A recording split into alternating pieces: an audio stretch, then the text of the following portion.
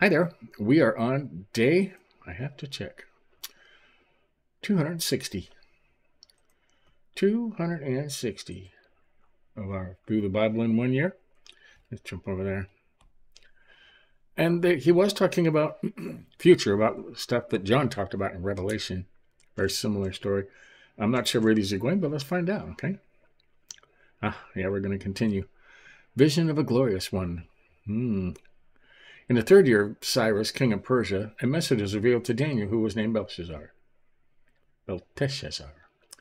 The message was true and was about a great conflict. He understood the message and had understanding of the vision. In those days, I, Daniel, was mourning for three full weeks. I didn't eat any rich food, no meat or wine entered my mouth. I didn't put any oil on my body until the three weeks were over. on the 24th day of the first month, as I was standing on the bank of the great river, the Tigris, I looked up, and there was a man dressed in linen with a gold with a belt of gold from Uphaz around his waist. His body was like topaz, his face was like a brilliance of light of lightning, and his eyes like flaming torches, his arms and feet like the gleam of polished bronze, and the sound of his words are like the sound of a multitude. Only I, Daniel, saw the vision. The two the men who were with me did not see it. But a great terror fell on them, and they ran and hid. I was left alone looking at this great vision. No strength was left in me. My face grew deathly pale, and I was powerless. I had the I I heard the words he said, and when I heard them, I fell into a deep sleep with my face on the ground. I fell asleep on my face. Angelic conflict. Suddenly a hand touched me and raised me to my hands and knees. He said, Daniel, you are a man treasured by God. Understand the words that I am saying to you. Stand on your feet, for I have now been sent to you. After after he said this to me, I stood trembling. Don't be afraid, Daniel, he said to me. From the first day that you purpose to you proposed to understanding and to humble yourself before God, your prayers were heard. I have come because of your prayers. But the prince of the kingdom of Persia opposed me for twenty one days. Then Michael, one of the chief princes, came to help me. That's the archangel Michael, right? Came to help me after I had been there for been left there with the kings of Persia. Now I have come to help you understand what will happen to your people in the last days, for the vision refers to those days. Okay, this is the days John spoke about. These days have not happened yet. Okay. While I was saying while he was saying these words to me, I turned my face toward the ground and was speechless.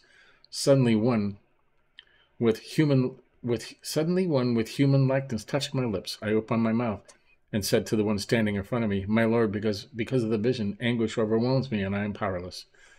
How can someone like me, your servant, speak with someone like you, my Lord? Now I have no strength and there is no breath in me. Hmm. Then the one with human likeness touched me again and strengthened me. He said, Don't be afraid. You who are treasured by God, peace to you, be very strong. As he spoke to me, I was strengthened and said, Let my Lord speak, for you have strengthened me. he said, Do you know why I've come to you? I, am, I must return at once to fight against the prince of Persia. And when I leave, the prince of Greece will come. No one has the courage to, su- to support me against them except Michael, your prince. However, I will tell you what is recorded in the book of truth. Mm. In the first year of Darius the Mede, I stood up to strengthen and protect him. Now I will tell you the truth. That's chapter 11. Prophecies about Persia and Greece. Three more kings will arise in Persia, and the fourth will be far richer than the others. By the power he gains through his riches, he will stir up everyone against the kingdom of Greece. Then a warrior will arise he will he will rule a vast a vast realm and do whatever he wants. But as soon as he is established, his kingdom will be broken up and divided to the four winds of heaven. But not to his descendants. It will not be the same kingdom that he ruled, because his kingdom will be uprooted and will go to others besides them. Kings of the south and the north. The king of the south will grow powerful, but one of the commanders will grow more powerful and will rule a kingdom greater than his. After some years, they will form an alliance and the daughter of the king of the south will go to the king of the north to seal the agreement. She will not she will not retain power, and his strength will not endure. She will be given up, together with her entourage, her father, and one who supported her during those times. In the place of the king of the south, one from her family will rise up. There's a note there. From the shoot of her roots. will rise up, come against, come against the army, and enter the fortress of the king of the north. He will take action against them and triumph. He will he will take even their gods captive to Egypt with their metal images and their precious articles of silver and gold. For some years he will stay away from the king of the north, who will enter the kingdom of the king of the south and then return to his own land. Hmm. His sons will mobilize for war and assemble a large number of armed forces. They will advance, sweeping through like a flood, and will again wage war against this his fortress. Infuriated, the king of the south will march out to fight with the king of the north and will raise a large army, but they will be handed over to his enemy. When the enemy is carried off, he will become arrogant and cause tens of thousands to fall, but he will not triumph. The king of the north will again rise and raise a multitude larger than the first. After some years, he will advance with a great army and many supplies. In those times, many will rise up against the king of the south. Violent ones among your own people will assert themselves to fulfill a vision, but they will fail. Then the king of the north will come, build up an assault ramp, to, and capture a well fortified city. The forces of the south will not stand. Even their select troops will not be able to resist. The king of the north who comes against him will do whatever he wants, and no one can oppose him. He will establish himself in the beautiful land, with total destruction in his hand. He will resolve to come with the force of his whole kingdom, and will reach an agreement with him. He will give him a daughter in marriage to destroy it, but she will not stand with him or support him. Then he will turn his attention to the to the coasts and islands and capture many, but a commander will put an end to his taunting. Instead, he will turn his taunts against him. He will turn his attention back to the fortress of his own land, but he will stumble, fall, and be no more. Yeah. In his place, one, one will arise who will send out a tax collector for the glory of the kingdom, but within a few days he will be shattered, though not in anger or in battle. Hmm. A tax, tax collector. In his place, a despised person will arise. Royal honors will not be given to him, but he will come during a time of peace and seize the kingdom by intrigue. By intrigue. A flood of forces will be swept away before him. They will be shattered as well as, as well as the covenant prince. After an alliance is made with him, he will act deceitfully. He will rise to power with a small nation. During a time of peace, he will come into the richest parts of the province and do what his fathers and predecessors never did. He will lavish plunder, loot, and wealth on his followers, and he will make plans against fortified cities, but only for a time. Hmm. It's a long chapter. With a large army, he will stir up his power and his courage against the king of the south. The king of the south will prepare for battle with an extremely large and powerful army, but he will not succeed because plots will be made against him. Those who eat his provisions will destroy him. His army will be swept away, and many will fall slain. The two kings whose hearts are bent on evil will speak lies at the same time, but to no avail, for still the end will come at the appointed time. The king of the north will return to his land with great wealth, but his heart will be set against the holy covenant. He will take action to return to his own land. This is a long chapter. At the appointed time he will come again to the south, but this time he will not be like it will not be like the first. Ships of Kittim will come against him, and being intimidated, he will withdraw. Then he will rage against the holy covenant and take action. On his return, he will favor those who who abandon the holy covenant. His forces will rise up and desecrate the temple fortress. They will abolish the daily sacrifice and set up an abomination of desolation. Okay, that's a that is spoke about often. Okay, and you can't you can't highlight it here. I mean, I wish you could, but you can't. With flattery, he will corrupt those who act wickedly toward the covenant, but the people who know who know their God will be strong and take action. those who are wise among the people will give understanding to many, yet they will die by sword and flame and be captured and plundered for a time. When defeated, they will be helped by some, but many others will join them insincerely. Some of them, some of the wives will fall so that they may be refined, purified, and cleansed until the time of the end, for it will still come at the appointed time. All right? Only God knows when.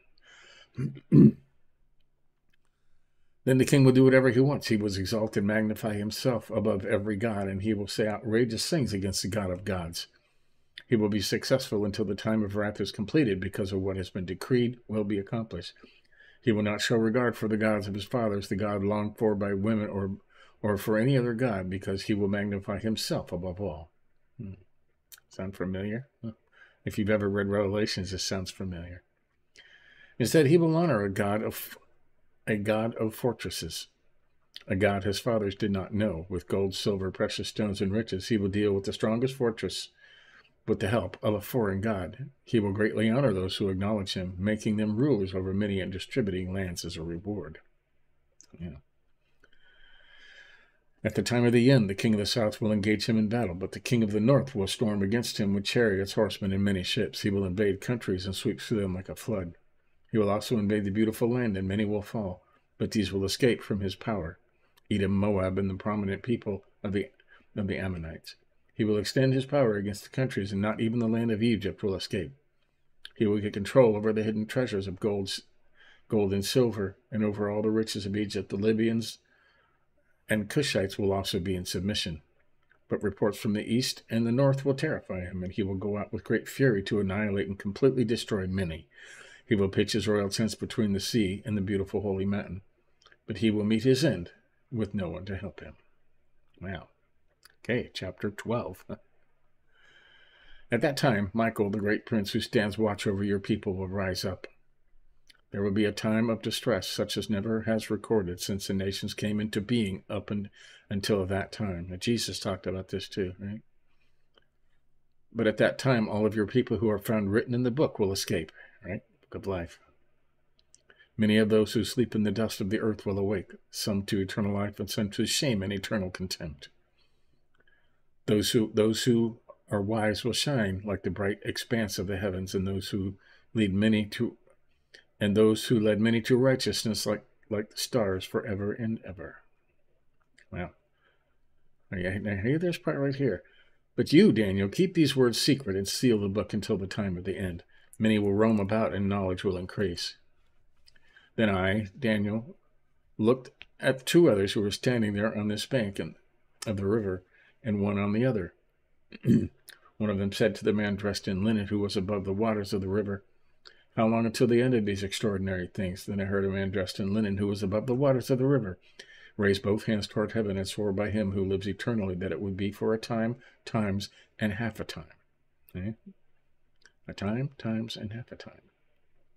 When the power of the holy people is shattered, all these things will be completed. I heard but did not understand, so I asked, Lord, what will be the outcome of these things? He said, Go on your way, Daniel, for the words are secret and sealed until the time of the end. Many will be purified, cleansed, and refined, but the wicked will act wickedly. None of the wicked will understand, but the wise will understand. For the time, for the time, the daily sacrifice is abolished, and the abomination of the desolation is set up. That's in the that's during the seven year tribulation, right? There would be 1290 days. The one who waits for, the one who waits for and reaches three, 335 days will be days is blessed. But as for you, go on your way to the end. You will rest, then rise to your destiny at the end of days. Okay. You will die and then you will rise. So Daniel will rise, okay, to his destiny at the end of days. Okay. Now I'm going to look at this verse.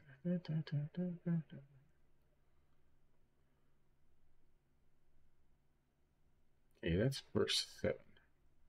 Daniel 12 7. Okay.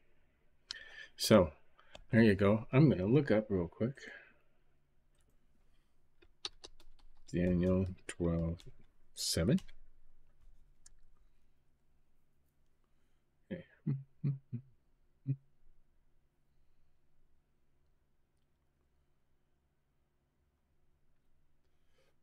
There's lots of videos and stuff on it.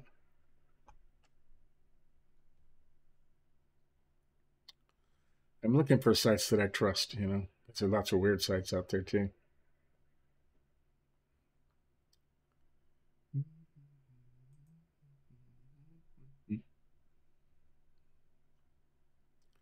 Let's see, we got Bible tools, Bible study tools.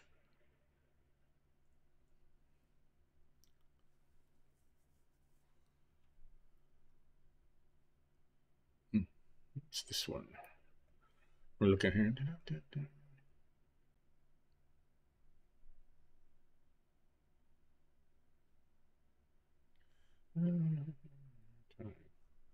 It doesn't help us. I'm looking for a simple explanation, you know?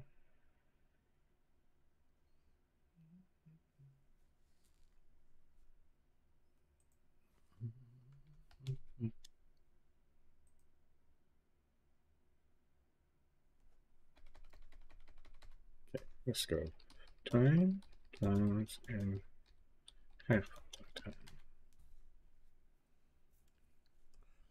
In this lesson, we continue to look at the symbolic time spans and vision C.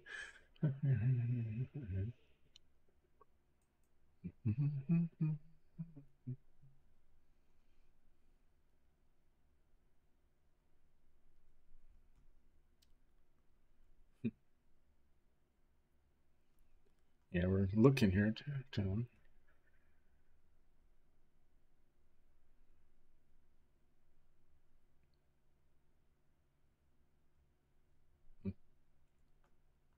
You're thinking it means three and a half time times and half a time.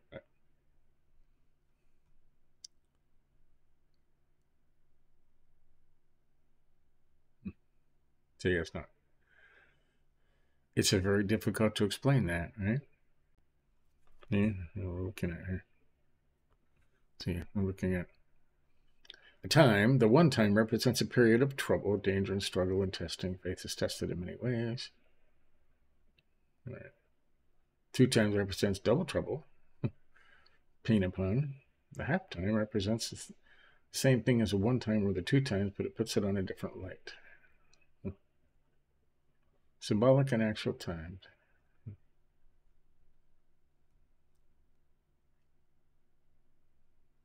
So I don't think they know. You know, prophetic days, weeks, and months and years are not a code from which to calculate real time periods, but rather a symbol to stand in place of real time periods which are not for men to know in advance. Now, symbolic period, such as 335 days, indicates that this is a time or season which the Father has fixed by his own authority, and it is not for us to know.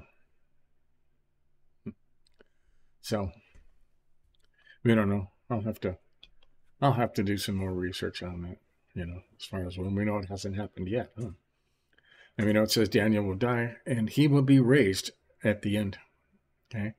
So this stuff hasn't happened yet. And I mean, you got the, the kings of the north, the kings of the south, and I mean, certainly Persia and Egypt and, and, you know, stuff. They've changed names over the times, but do we fit into this picture? I honestly don't know. Okay. I mean, there are talks in other parts of the Bible about the land overseas and a, a people I will make my own that aren't from Israel. But I don't know. This is just reading through the Bible in a year. It would take you, you know, days and weeks and months to tear this all apart. Okay. But the main um, thing of this of this particular series is to read through the Bible in a year. So we are going to read through the Bible in a year. And there will be questions, okay, as you read through it. But what's tomorrow? Oh, and tomorrow we're starting Ezra. Okay, so is there only 12 books in Daniel? Let's see.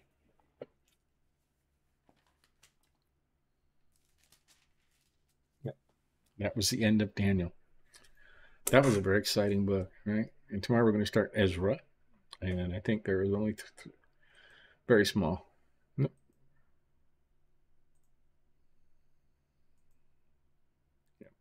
Ezra covers two days, and then Haggai, Zechariah, two days, Esther. Esther's a great book. Nehemiah, and we're going to go through all these small books.